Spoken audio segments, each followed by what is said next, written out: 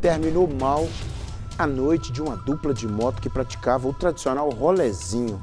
É. Eles foram presos pela Polícia Militar na Avenida Veneza, no bairro Santo Agostinho, governador Valadares. Aí. Eles estavam com um grupo de motociclistas quando foram vistos por policiais que faziam uma ronda para perceber a presença da polícia o grupo fugiu. É. Eles foram perseguidos e a dupla, ao tentar desviar de um carro parado no sinal, acabou caindo. Ó, a viatura não conseguiu desviar e bateu na traseira do veículo.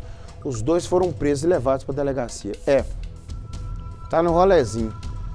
Ali é próximo ao tiro de guerra, Felipe? É, né? Parece? Acho que sim. É, a polícia mandou parar, tem que parar, né, Bebiano? É, a pessoa corre risco cair ali no canal, morrer, quebrar o pescoço. Meu Deus.